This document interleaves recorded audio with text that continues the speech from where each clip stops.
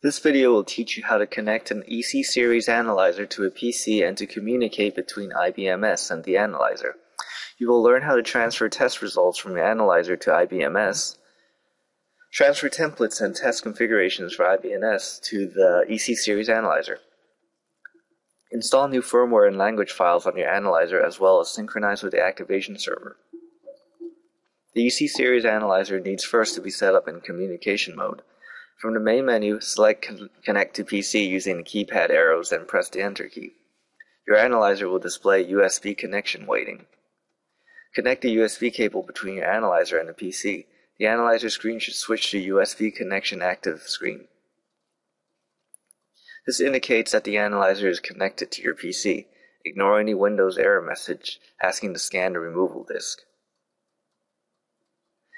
or any other actions taken by Windows to access the SD card disk in the analyzer. In any case, do not copy files or folders onto the SD card unless instructed by the Global Energies Innovations technical support. Now that the analyzer is connected to the PC, click on the transfer icon and select Analyzer Transfer from the menu. The Analyzer Transfer window will open. The window is divided into five tabs Summary, Synchronize, Options and Features, Transfer to IBMS, transfer to Analyzer, and install updates. On the left side, the list of Analyzer connected to the PC is displayed according to their serial number. If more than one analyzer is connected, you can switch from one analyzer to another by selecting the analyzer serial number. The summary page lists the characteristics of the selected EC analyzer. In particular, you can review the installed firmware and language file. IBMS normally detects if automatically if new firmware or language files are available. If necessary, you can use the Check for Update button for forcing IBMS to look for any available updates. At the bottom of the Summary tab, the SD card space allocation is, is graphed. The Analyzer operation, operating system reserves a space about 1 gigabyte on the SD card as shown on the graph, but as observed here, there are still plenty of space for storing analyzer data. The Synchronize Options and Feature tab is divided into two sections. The top section corresponds to synchronization between IBMS and the analyzer. You can transfer the inventory structure as defined in IBMS configuration on the analyzer. You can sync, synchronize state and temperature unit as well as set the analyzer time according to your PC clock.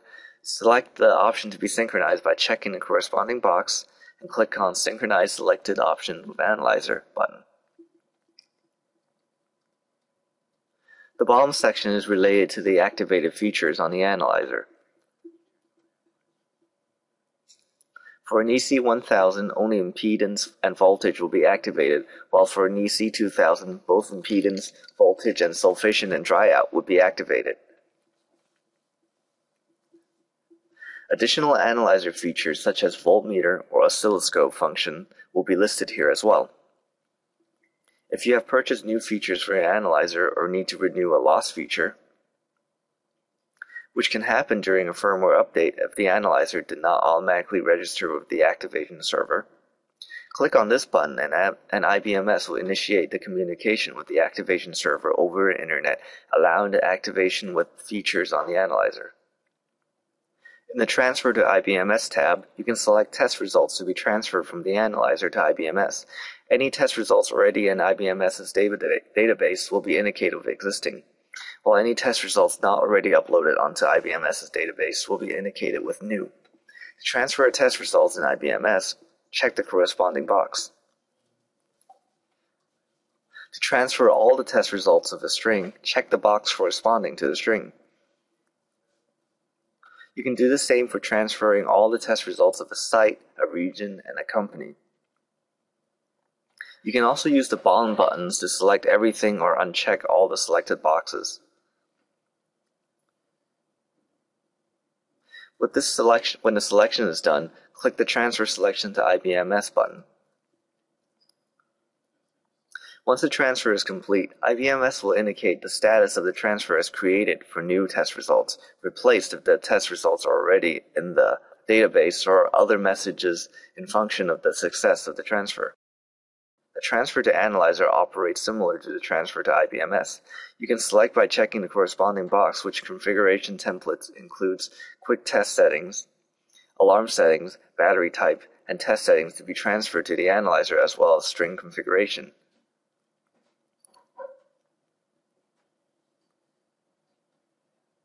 If the string configuration does not exist on the analyzer, it will be indicated with new in parentheses. Any string configurations existing in the analyzer will be indicated by the mention existing in parentheses. In particular, if you have adjusted the alarm or baseline value of one string, you will need to overwrite string configuration in your analyzer with the updated one for your future test.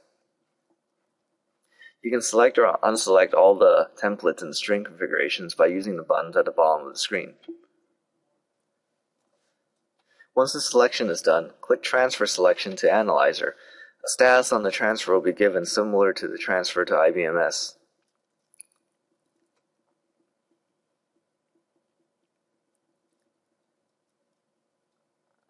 The Install Update tab is generally accessed automatically by IBMS when IBMS is performing firmware or language file updates automatically. In some situations, you might need to upload manually a firmware or language file. A manual update is initiated in two steps. First, browse the firmware language files by clicking on the Browse button. A new window opens and you'll need to locate and select a file on your hard drive. Click the file to open. Click on the Install button to install a new firmware or language file. At this point, the manual installation is similar to an automated update. Acknowledge the window message. For firmware update, do not remove the USB cable until the analyzer shuts down by itself. In the process of the firmware update, the unit reconnects to the IBMS to communicate with the activation server.